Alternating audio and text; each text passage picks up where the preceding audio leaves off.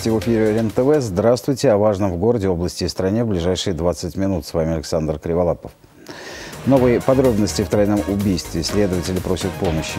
Без права на проживание в купленном доме. Суд решает судьбу семьи.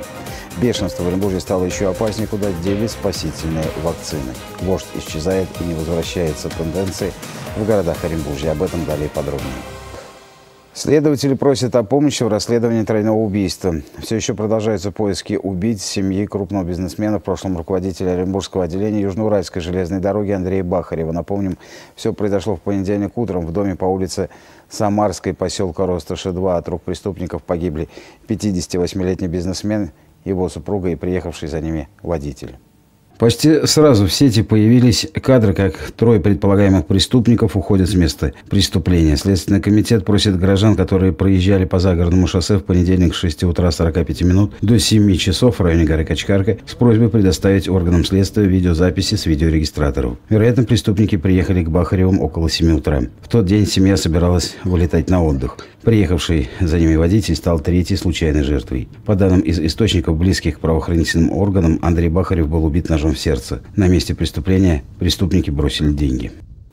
Следователи отрабатывают несколько версий, правда, пока не называют их, но не исключают и профессиональный мотив. В последние годы Андрей Бахарев возглавлял Оренбургский филиал «Газпромтранса», был членом общественного совета. Напомним, к общественности с просьбой о помощи и предоставлении видеозаписи следователи обращались после еще одного резонансного убийства, когда во дворе многоэтажек по улице Луговой был убит предприниматель и его семилетний сын. Оренбуржцы, шокированные жестоким преступлением, активно откликнулись, но, к сожалению, до сих пор преступников не поймали. С погодой не подфартило, но место выбрано символично. 14-й бизнес-форум «Город бизнесу. Бизнес городу» в этом году решили провести на открытом воздухе. Стенды лотки с продукцией различных компаний разместили на набережной Урала.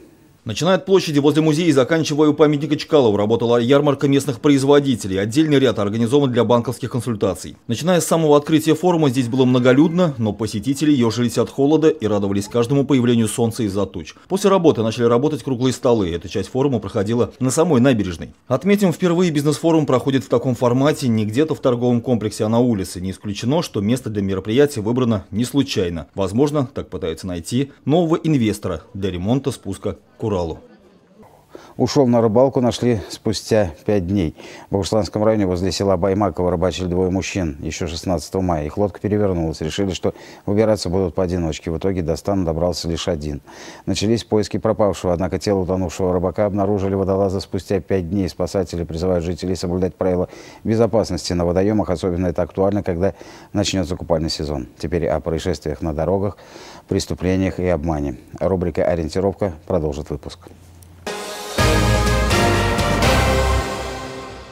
Пенсионерка с косой спровоцировала ДТП. Все произошло на Нежинском шоссе. На кадрах видеорегистратора видно, как красный «Лифан» двигается в потоке. Впереди него резко затормозил автомобиль «Рено». Чтобы уйти от столкновения, водитель красного автомобиля свернул влево. В этот момент возле отбойника находилась пожилая женщина. Сильный удар, и в результате машина буквально запрыгнула на впереди стоящий автомобиль. Пешеход получила травмы, пожилую женщину госпитализировали. Пенсионерка, скорее всего, шла на дачу, в руке у нее была коса. Очевидцы позже рассказали, что первый автомобиль затормозил, потому что собака выбежала на дорогу. Но теперь все детали происшествия выясняют полицейские. Разбираются они и в ночной аварии на проспекте Гагарина «Шевроле» въехал в опору ЛЭП. Водитель на большой скорости не справился с управлением, наехал на бордюр и его отбросило в столб. Мужчине потребовалась помощь, его отправили в больницу. Сотрудники ГИБДД проводят проверку.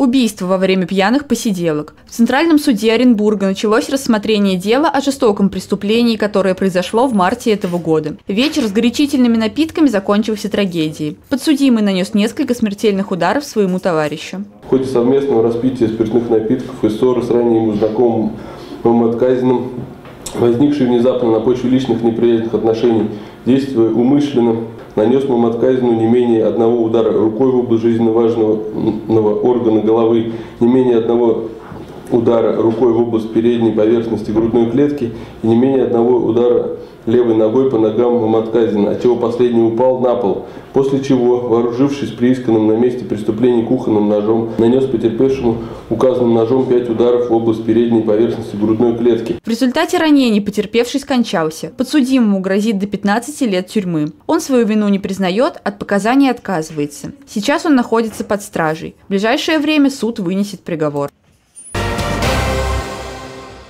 В Оренбурге полицейские возбудили уголовное дело на потребительский кооператив «Семейная копилка». Нашли признаки мошенничества. Правоохранители провели обыски, были изъяты техника, деньги и документы. И только после того, как в полицию поступило 118 заявлений от оренбуржцев. Сейчас подсчитана сумма предварительного ущерба – более 48 миллионов рублей. Выяснилось, что в начале апреля компания прекратила выплаты по процентам, а вложенные деньги гражданам так и не были возвращены. Кооператив остановил свою деятельность, а ее руководители скрылись. Теперь ведут их розыск в рамках уголовного дела. Непосильная ноша. В Оренбурге мать с двумя малолетними детьми за долги по ипотеке выселяют из квартиры. Во время декретного отпуска женщина не смогла платить по кредиту. Теперь банк через суд требует, чтобы заемщица покинула помещение, а также снялась с регистрационного учета.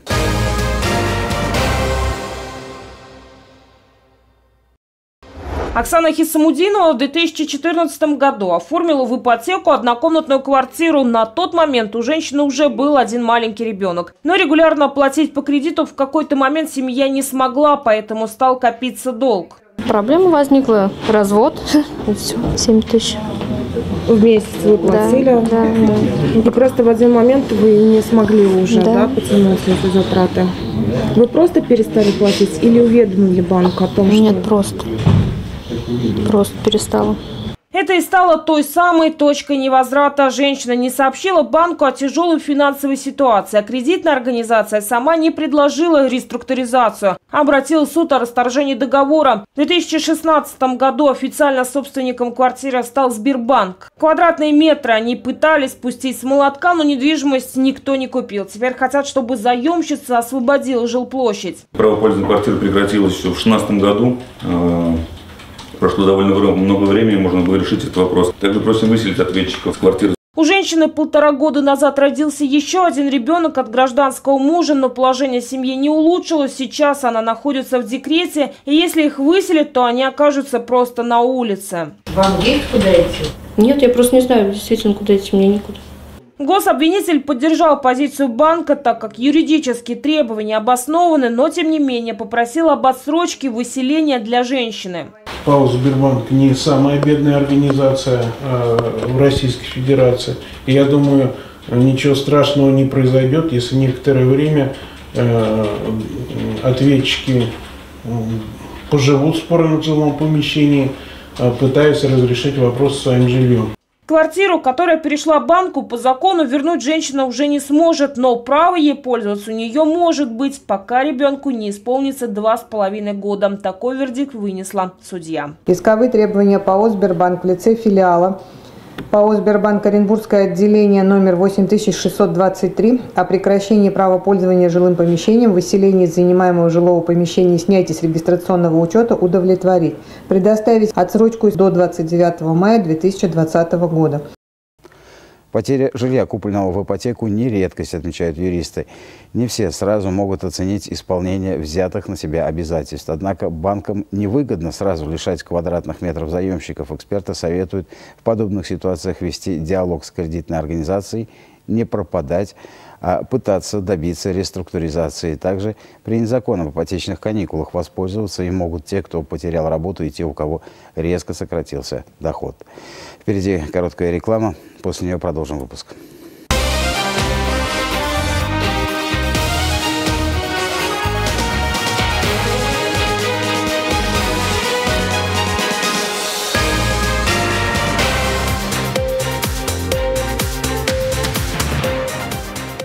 И вновь к новостям. Спасать от бешенства нечем. Аукционы безуспешны. В Орске нет вакцины против тяжелого заболевания. И тем пациентам, которых покусали животные, предлагают просто надеяться на высшие силы. Наши орские коллеги встретились с пострадавшими.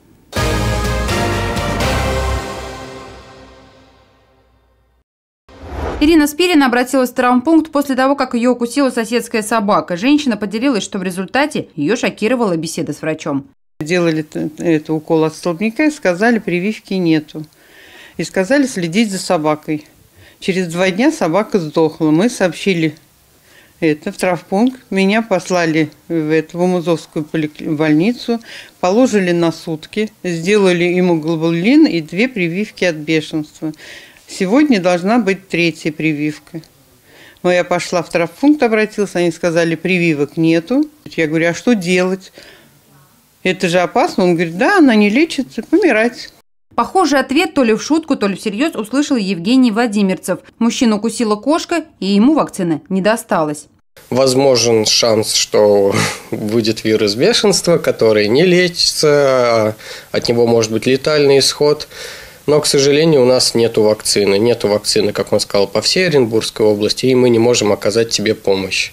Руководство травпункта ответило жителям, что вакцины от бешенства нет не то, что в Оренбургской области, нет ее даже в Москве. Минздраве области подтвердили, что с поставками антирабической вакцины проблемы. На своем официальном сайте пишут, что с начала года в области четырежды объявлялись аукционы на поставку вакцины в количестве 7500 доз, которые были признаны несостоявшимися ввиду отсутствия предложений от поставщиков. Сейчас объявлен новый конкурс, поставки ожидают лишь в конце мая. Закуплено всего 150 доз для экстренной помощи и завезли иммуноглобулин, который можно использовать в некоторых случаях. Его запаса хватит на полгода. Считаются ли случаи арчан экстренными и стоит ли их привить имеющимися в области вакцинами, в Минздраве не поясняют. Родственникам разрешат посещать пациентов, находящихся в реанимации. Государственная Дума сегодня приняла закон, обязывающий медицинские учреждения предоставлять доступ для родных, а также создавать условия для таких визитов. Сейчас доступ к пациентам в реанимациях является жестом доброй воли главврача, но чаще все же людей не пускают в палату интенсивной терапии. Теперь у родителей, супругов, детей появится возможность быть рядом с родными людьми в тяжелый момент их жизни. Согласно документу, определять порядок допуска родственников будет Минздрав. При этом ведомство будет учитывать состояние больного, соблюдение противоэпидемического режима и интересов тех, кто работает или находится в больнице. Ленина уходит и не торопится вернуться. Сегодня исполнился ровно год, как начались проблемы с так называемым «маленьким Лениным» в сквере на Советской. В этот же день, несколько лет назад, Ильич бесследно пропал и в Орске. А в Оренбурге бюст вождя мирового пролетариата внезапно появился у одной из центральных магистралей города. Что происходит с главным строителем коммунизма, мы попытались выяснить.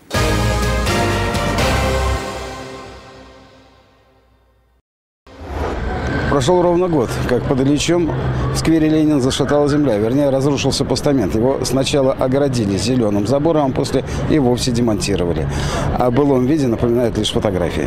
На один из самых первых в мире памятников Ленину оренбургские рабочие собрали 10 тысяч новых червонцев. Его изготовили в мастерских Ленинградского художественного училища в 1925 году. О том, что маленький Ленин выполнил натуральную величину, это миф. При жизни Владимир Ильич был ростом 155 сантиметров. Скульптор Козлов увеличил на 12 сантиметров, за что чуть не поплатился. Спасло объяснение в НКВД. Монумент должен соответствовать статусу фигуры самого вождя, сказал творец. Сегодня вождя нет, и оренбуржцев терзают смутные сомнения. Мне кажется, не вернется. Вот у меня такое ощущение. Что-то здесь очередное возвиснут, может быть, вазон какой-нибудь поставить с цветами, этого будет достаточно. Вполне возможно, что и не вернется.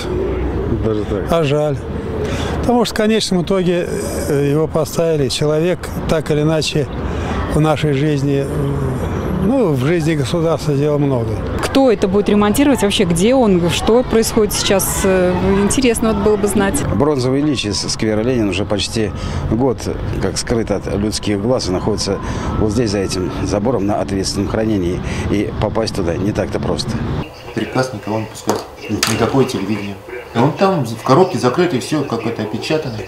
На ремонт постамента требуется порядка 9 миллионов рублей. Коммунисты планировали вернуть вождя на место к его дню рождения, 22 апреля, но не смогли, денег так и не нашлось. Памятник является объектом федерального значения, охраняется государством. Область кивает на Москву, та в свою очередь на область, а денег как не было, так и нет. Если оренбургский вождь еще имеет шанс вернуться на свое историческое место, то в Орске с вождями расстались безвозвратно. Пять лет назад разобрали фигуру во дворе второй Орской школы, а в 2009-м канул в лету монумент на площади Гагарина. На днях вождь мирового пролетариата, как гриб после дождя из-под земли, неожиданно появился вдоль одной из центральных магистралей Оренбурга.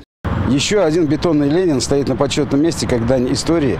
И на улице Терешкова с характерным для вождя мирового пролетариата прищуром встречает и провожает горожан. Некоторые из которых подходят к Ленину и делают с ним селфи, а позже размещают в социальных сетях.